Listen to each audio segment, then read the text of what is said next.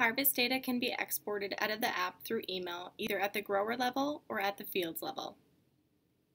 Exporting at the grower level here constructs an email with a CSV file attachment that contains recorded data for all growers, farms, and all fields.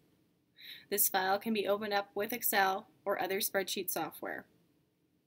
To do this, tap the Fields tab on the bottom of the app and navigate to your growers, shown here. Tap the icon on the top right hand side of the screen with the arrow to generate an email. And type in an email address that you'd like to send it to.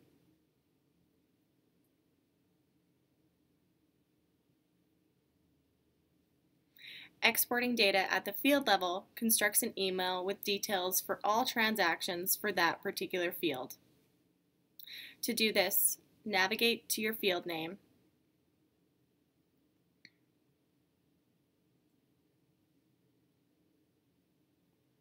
and tap the icon to go into your field. Tap the icon on the top right hand side of the screen with the arrow to generate an email with data for this particular field. For more instructional videos, please visit the support page on our website, agrimatics.com.